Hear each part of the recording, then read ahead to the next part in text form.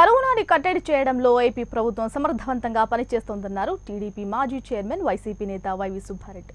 తాడేపల్లిలోని AP NRTS chairman Medapati Venkata ఆధ్వర్యంలో NRA సభ్యుల బృందం సహకారంతో కొనుగోలు చేసిన కరోనా నియంత్రణ సామాగ్రిని సుబ్బారెడ్డి ఆసుపత్రులకు పంపిణీ చేశారు. సీఎం జగన్ నేతృత్వంలో కరోనా వైరస్ నియంత్రణ అలాగే లాక్డౌన్ అమలు చేస్తున్న తీరు కేసుల తీవ్రత వ్యాక్సినేషన్ విషయంలో దేశంలోనే ఏపీ ముందంజలో ఉందన్నారు.